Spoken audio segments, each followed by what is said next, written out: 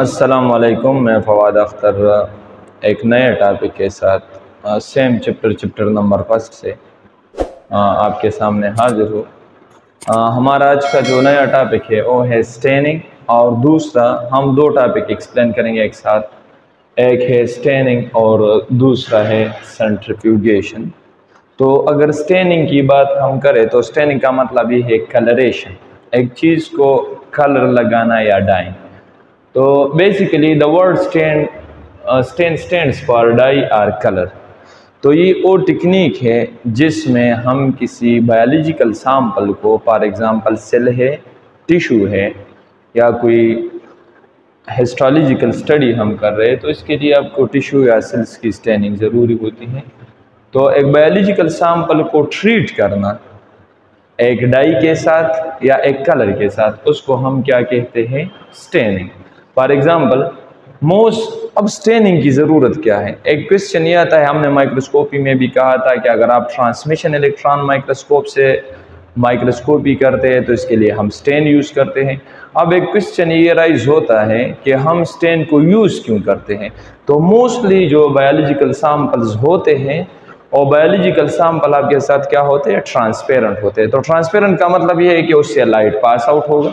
जब light pass out होगा तो उसकी रीडिंग आपको आएगी नहीं, क्योंकि अगर हम इमेज फॉर्मेशन को देखें तो उसमें लाइट जब किसी चीज़ से रिफ्लेक्ट होती है या एक चीज़ को एलुमिनेट करती है एक्साइड करती है तो इसके बेस पे एक इमेज बनता है।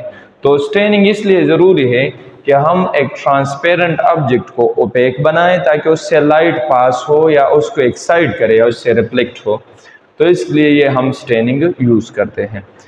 फॉर बेटर विजिबिलिटी इससे एक स्टेन की वजह से आपके साथ जो बायोलॉजिकल सैंपल है फॉर एग्जांपल सेल है तो उसमें आर्गेनिलीज माइटोकॉन्ड्रिया हो गया क्लोरोप्लास्ट हो गया, ये चीज़ आपको विजिबल आ जाएगी।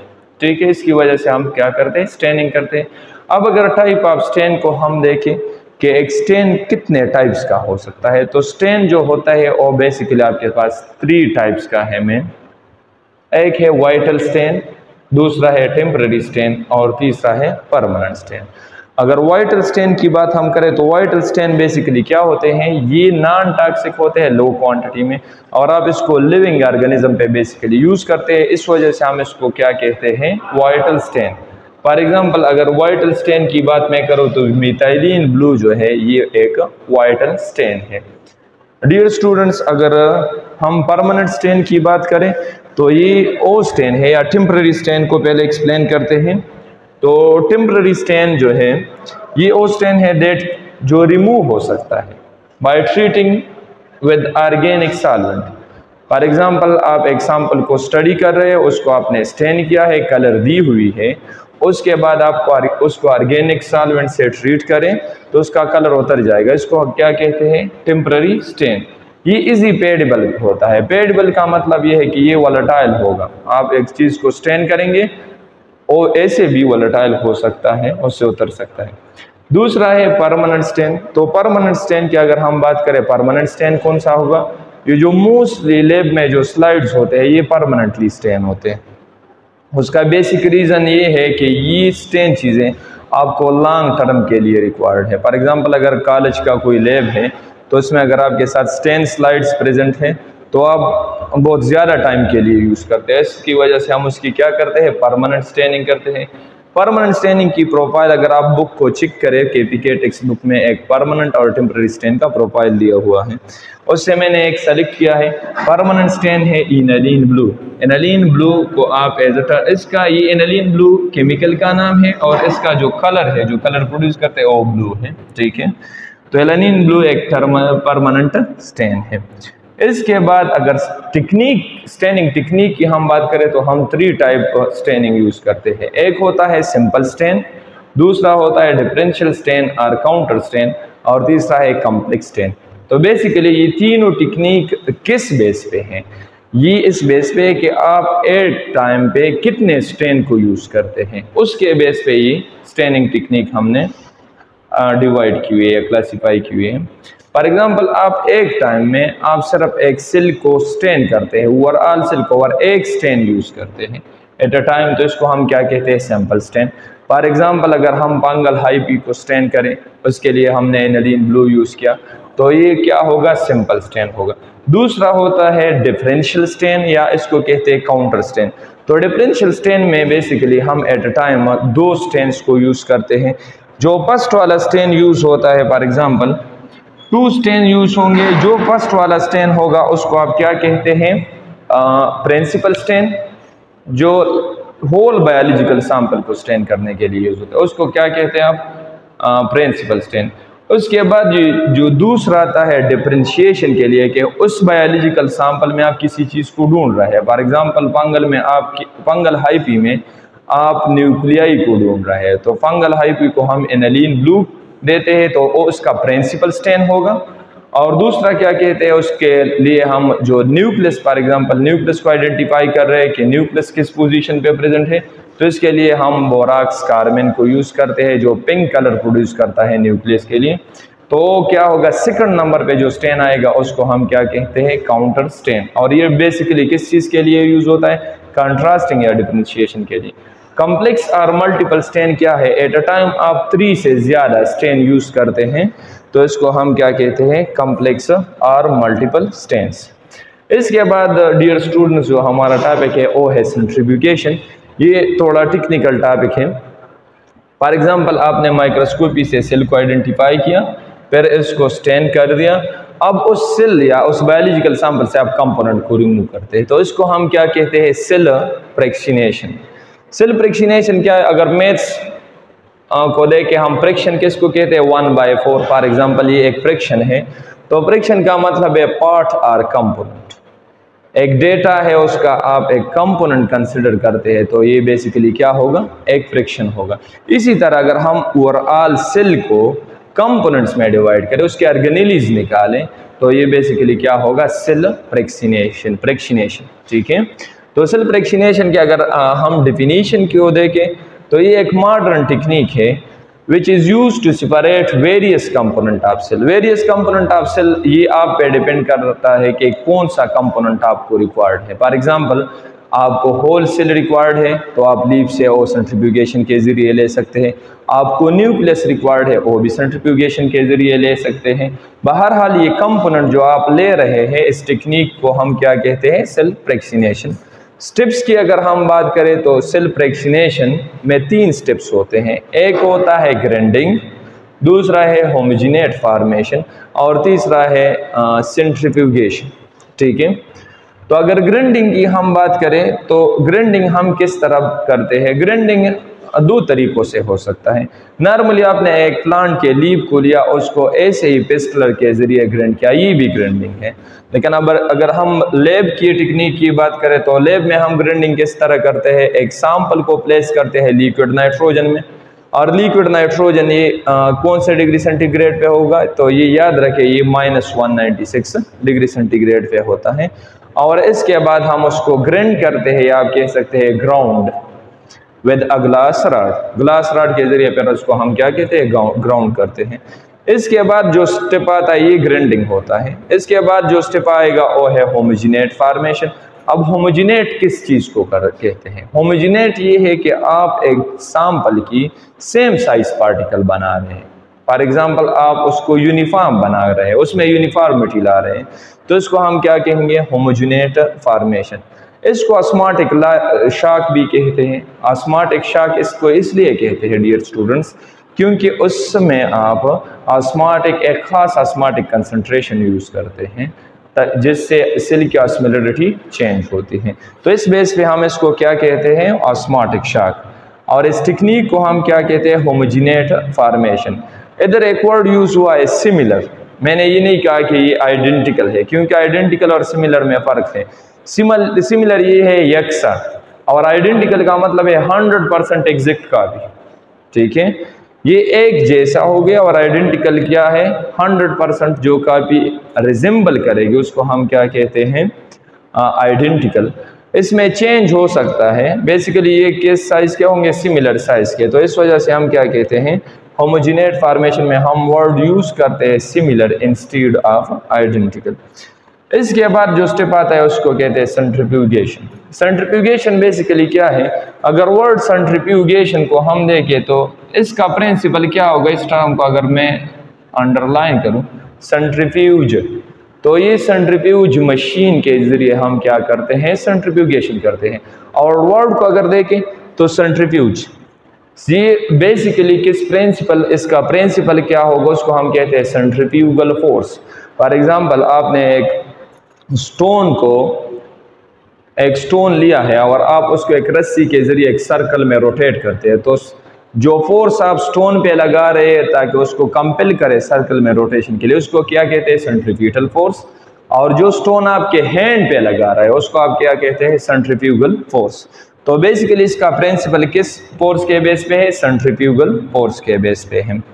सेंट्रीफ्यूगेशन में हम क्या करते हैं? इसको मैं डायग्रामेटिकली एक्सप्लेन करूँगा। सेंट्रीफ्यूगेशन में हम क्या कर, करते हैं? पहले जो सैंपल लिया है आपने उसको आपने ग्रेंड किया। दूसरे नंबर पर आपने उसका होमोजिनेट बना लिया। होमोजिनेट फॉर्मेशन के बाद आप सेंट्रीफ्यूज मशीन के ज़रिए उसको पहले स्लो मोमेंट देंगे। स्लो स्पीड से आप उसको या स्लो आरपीएम आप उसको प्रोवाइड करेंगे। आरपीएम का मतलब है रिवोल्यूशन पर मिनट तो स्लो आरपीएम के साथ उसको रोटेट करेंगे। इसको बेसिकली अगर हम आरपीएम को कन्वर्ट करें और इसकी रिजेंबलेंस ले लें ग्रेविटी के हिसाब से तो फ़र्स्ट स्टेप में हम 800 टाइम्स ऑफ़ ग्रेविटी फोर्स देते हैं पर 10 मिनट्स तो इस स्पीड पे जो लार्ज साइज़ पार्टिकल है, वो सेपरेट आउट होंगे। इसमें लार्ज साइज़ से पार्टिकल से मेरा मतलब है होल सेल्स हो गए न्यूक्लियस या मिड रिप जो लीव्स के अंदर विसल होते हैं। फॉर एग्जांपल अगर हम जिस सैंपल को ट्रीट करते हैं, वो लीप है। तो लीप के जो मिड रिप है, वो इस स्लो स्पीड में सेपरेट आउट होंगे। अब एक टेक्निकल क्वेश्चन इधर, कौन सा राइज होता है? Why we use slow speed at the initial step क्योंकि इससे अगर आप हाई स्पीड देंगे तो इन चीज़ों की डेंसिटी ज़्यादा होती है, उसकी वजह से आपके साथ सेंट्रीफ्यूज ट्यूब जो है, वो ब्रेक होने के चांसेस होते हैं। दूसरे नंबर पे हम अब इस स्पीड पे आपके पास दो चीज़ें बनेंगे। एक हार्ड स्ट्रक्चर होगा, जो ट्यूब के एंड में होगा, उसको हम कहेंगे पेलेट और दूसरा लिक्विड सोल्यूशन पाम में होगा, उसको हम क्या कहते हैं सुपरनेटेड तो जो स्मॉल साइज़ पार्टिकल होंगे, वो सुपरनेटेड में होंगे, और जो लार्ज साइज़ पार्टिकल है, वो किस चीज़ में प्रेजेंट होंगे और पेलेट में पेलेट के अंदर मौजूद होंगे। तो अगर आपका सेलेक्टेड सैंपल जो है, वो स्मॉल साइज़ का है तो वो पेलेट सुपरनेटेड के अंदर होगा। तो पेलेट आप डिस्कार्ड कर सकते हैं। अगर आपका सैंपल लार्ज साइज़ का है तो आपके साथ पेलेट में मौजूद है। आप पेलेट को यूज़ कर सकते हैं फर्दर एनालिसिस के लिए। इधर जो आपके बुक में जो दी हुई है तो वो है basically separation technique for ribosomes जैसे आप राइबोसोम तो राइबोसोम लाइटेस्ट पार्टिकल है सेल का। तो दूसरे नंबर पर पहले स्टेप में हमने जो स्लो सेंट्रीफ्यूगेशन की तो उसमें हमने क्या निकाला? जो लार्ज पार्टिकल थे होल सेल था न्यूक्लियस और मेड्रम ये सेपरेट हो जाएँगे। स्पीड टू में या सेकंड स्पीड में आप क्या कहते हैं? Twenty thousand of gravity force दे रहे थे सेंट्रीफ्यूज के ज़रिए पर 15 मिनट तो इस स्पीड पे मीडियम साइज़ के पार्टिकल जो है, वो पेलेट बनाएँगे at the end of centrifuge tube या आप इसको दूसरा नाम कहते हैं पालकन ट्यूब पालकन ट्यूब और centrifuge tube medium size particle से मेरा क्या मतलब फॉर एग्जांपल सेल के अंदर आपके साथ माइटोकॉन्ड्रिया है उसके साथ आपका क्लोरोप्लास्ट है ये मीडियम साइज़ पार्टिकल है फॉर एग्जांपल ये भी अल्लाह कैटेगरी अगर देखें हम इवोल्यूशन की स्टडी करें तो एंडोसिम्बियासिस के थ्रू ये माइटोकॉन्ड्रिया और क्लोरोप्लास्ट होते हैं इसको हम as a prokaryotic cell consider करते हैं। तो ये सेल के मीडियम साइज़ पार्टिकल होंगे, वो स्पीड से कहाँ पर पहुँचेंगे? वो पिलेट में मौजूद होंगे, क्योंकि इसकी डेंसिटी ज़्यादा होगी तो पिलेट में सेट डाउन करेंगे। स्पीड नंबर थ्री हम देते हैं one lakh time of gravity for 60 minute तो इस स्पीड पे जो माइक्रोसोम्स होंगे माइक्रोसोम से मेरा मतलब है पिराक्सिसोम ग्लायाक्सिसोम या दूसरे जो माइक्रोसोम्स हैं, जो बॉडीज है माइक्रोस्कोपिक वो इसके साथ साथ प्लाज्मा मेम्ब्रेन के अगर कोई कंपोनेंट रह रहा है सेल का तो वो इस स्पीड के से रिमूव आउट होगा और रिमूव कैसे होगा? पेलेट के अंदर आ जाएगा। और स्मॉलर साइज़ के पार्टिकल अगेन आपके पास कहाँ पे मौजूद होंगे? सुपर नेटेंट में। तो स्पीड फोर पे हम बेसिकली सेपरेट करते हैं राइबोसोम और राइबोसोम स्पीड नंबर फोर से हमारे पास पेलेट के अंदर आ जाता है। तो स्पीड फोर क्या है? One lakh fifty time of gravity आप उसको फोर्स देते हैं पर थ्री हावर्स थ्री हावर की ड्यूरेशन होती है। तो दिस इज़ इसको आप कंसिडर कर सकते हैं highest speed at this highest speed ribosome will be settle down and your solution or Falcon tube as pellet तो आप फर्दर अगर राइबोसोम की स्टडी करते हैं तो पेलेट के अंदर आपका राइबोसोम मौजूद होगा। उससे आगे आप राइबोसोम को क्या कर सकते हैं? स्टडी फर्दर एनालिसिस उसकी कर सकते हैं करेक्टराइजेशन कर सकते हैं। ये प्रोक्रियाटिक राइबोसोम है या यूक्रियाटिक राइबोसोम है। तो बेसिकली ये क्या है? सेंट्रीफ्यूगेशन अगर इसकी समरी में देखूँ, पहले कंपोनेंट को आपने ग्रेंडिंग की उसकी, जो सैंपल है बायोलॉजिकल इसके बाद होमोजीनेट फार्मेशन की। इसके बाद सेंट्रीफ्यूज मशीन के थ्रू आपने इनको थ्री स्पीड्स पे चलाया। पहले स्लो पे फिर आहिस्ता आहिस्ता आपने स्पीड बढ़ाया। On the basis of desired sample ठीक है? तो ये है सेंट्रीफ्यूगेशन तो डियर स्टूडेंट सेंट्रीफ्यूगेशन को थोड़ा डायग्रामेटिकली देख लेते हैं, ठीक है? सेंट्रीफ्यूज को अगर हम इसको कहते हैं, पालकन ट्यूब या आप इसको कह सकते हैं सेंट्रीफ्यूज ट्यूब ये बेसिकली किस चीज़ पे प्रिंसिपल इसका क्या है? वो है सेंट्रीफ्यूगेशन फोर्स फिजिक्स का प्रिंसिपल है सेंट्रीफ्यूगेशन अब आप आरपीएम को या स्पीड को किस तरह कन्वर्ट करेंगे ग्रेविटी में? तो इसके लिए एक ये फार्मूला है, ये कॉन्सोनेंट है 1.118 मल्टीप्लाई बाई टेन की power minus five r represent करता है रेडियस को और आरपीएम का स्क्वायर आप लेंगे तो ये आपके सेंट्रीफ्यूज फोर्स को आप कन्वर्ट करेंगे ग्रेविटेशनल फोर्स में। ठीक है? तो बेसिकली हम फ़र्स्ट स्टेप की बात जब कर रहे थे तो मैंने आपको कहा था कि इसको हम सैंपल को ग्रिंड करेंगे। ग्रिंडिंग के लिए क्या था कि हमने इसको माइनस वन डिग्री सेंटीग्रेड या लिक्विड नाइट्रोजन से ट्रीट किया था। तो इसमें जो सैंपल में थे उसमें होल सेल्स थे आपके साथ सेलुलर डिब्रिज थी, जो डेड सेल्स थे न्यूक्लियाई थी। इसके बाद हमने उसका बनाना था होमिजिनेट फार्मेशन तो रिकॉल करें, मैंने आपको बताया था कि होमिजिनेट फार्मेशन हम किस चीज़ से करते हैं? अस्माटिक लाइस और अस्माटिक शाक उसको आप कह सकते हैं। तो उसमें क्या होगा, ये जो पार्टिकल्स इरेगुलर साइज़ के, ये यूनिफॉर्मिटी में थोड़े आ जाएँगे। सिमिलरिटी इसको में प्रोड्यूस करते हैं आप होमिजिनेट में। होमोजिनेट फॉर्मेशन के बाद जो दूसरा स्टेप है, इसके बाद सेंट्रीफ्यूगेशन आती है। तो सेंट्रीफ्यूगेशन हम पहले करते हैं स्लो स्पीड से। तो slow speed centrifuge for example आप 800 टाइम ऑफ़ ग्रेविटेशनल फोर्स दे देते हैं 10 मिनट्स के लिए। तो इसमें प्लेट और सुपरनेटेड बन जाएगा। प्लेट में क्या होगा? न्यूक्लियाई है और इसके साथ साथ आपके पास है सिलुलर डिब्रीज अब अगर आप, ये डिपेंड करता है कि आपका सेलेक्टेड सैंपल का साइज़ कितना है. फॉर एग्जांपल अगर न्यूक्लियस है तो स्लो स्पीड में आपको न्यूक्लियस मिल सकता है. तो आप डायरेक्टली पिलेट को यूटिलाइज करते हैं. अगर इससे आपका सैंपल का साइज़ जो है, वो स्मॉलर है तो इससे वो कहाँ पे प्रेजेंट होगा? इस वाले पोर्शन को, जो लिक्विड पोर्शन होगा, उसको हम क्या कहते हैं? सुपरनेटेंट और जो हार्ड स्ट्रक्चर बनेगा, इसको आप कहते हैं पेलेट तो अगर हमारा सैंपल लाइटर वेट का है, या सैंपल की वेट या डेंसिटी कम है तो उसके लिए आपको अगेन इसको स्पन करने की ज़रूरत है या सेंट्रीफ्यूगेशन की ज़रूरत है। तो थोड़े ज़्यादा स्पीड से हम उसको सेंट्रीफ्यूज करते हैं। Twenty thousand time of gravity अगर आप फिफ्टीन मिनट के लिए दे दें एक स्पन सेंट्रीफ्यूज ट्यूब को या सेंट्रीफ्यूज करें एग्ज़ाम्पल को। इस सैंपल में क्या होगा? जी सुपरनेट हम इसमें ट्रांसफ़र करेंगे और इसको स्पीड से क्या करेंगे? सेंट्रीफ्यूज करेंगे। तो पिलेट अगर इस पिलेट आपके पास आ जाएगा तो पिलेट क्या होगा? माइटोकॉन्ड्रिया और क्लोरोप्लास्ट में एनरिच होगा। इसके बाद अगर आपको माइटोकॉन्ड्रिया और क्लोरोप्लास्ट रिक्वायर्ड है तो ये चीज़ें हैं। सुपरनेटेंट को आप क्या करेंगे? ट्रांसफ़र करेंगे। एक अलग सेंट्रीफ्यूज ट्यूब में आप फाल्कन ट्यूब में ट्रांसफ़र करेंगे और इसको रोटेट करेंगे at higher speed for example one lakh time of gravity आपने दे दी 60 मिनट्स के लिए तो पिलेट में माइक्रोसोम होंगे, पीस ऑफ़ प्लाज्मा मेम्ब्रेन होगा। और ये प्लेट इनरिच इन चीज़ों में होगा। अगर अब अगर आपको प्लाज्मा मेम्ब्रेन रिक्वायर्ड है, आप प्लाज्मा मेम्ब्रेन की स्टडी करते हैं तो आपका सेलेक्टेड सैंपल इधर है। फिर आपको सुपरनेटिन की ज़रूरत नहीं है प्लेट को यूटिलाइज करें। अगर आपका सैंपल उससे भी छोटा है तो थोड़ा और ज़्यादा स्पीड दें। For example one lakh and fifty thousand time of gravitational force आप दे रहे थ्री हावर्स के लिए तो इससे आपके पास क्या निकल जाएगा राइबोसोम? अगेन जो सोल्यूशन होगी उसमें इससे भी स्मॉलर पार्टिकल हो सकते हैं। तो अगर आपका सेलेक्टेड कंपोनेंट क्या है राइबोसोम है तो ये प्लेट में आपके साथ है इसकी फर्दर एनालिसिस आप कर सकते हैं। इनशाला एक और टॉपिक के साथ मैं आपकी खिदमत में हाजिर हूँ थैंक यू तब के, तब के लिए अल्लाह हाफिज़।